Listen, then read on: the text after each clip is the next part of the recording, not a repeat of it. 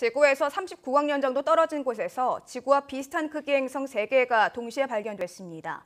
벨기에와 미국, 영국, 인도 등 국제 연구팀은 외성 트라피스트-1의 주위를 공전하는 행성 3개를 관측했고 이 별이 지구와 비슷한 크기라는 연구 결과를 네이처 온라인판에 발표했습니다.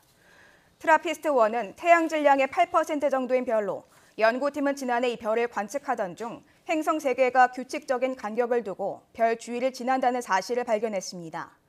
연구팀은 지구 크기와 비슷한 행성에 대한 연구를 통해 외계 생명체의 존재 가능성을 탐색해 나갈 예정입니다.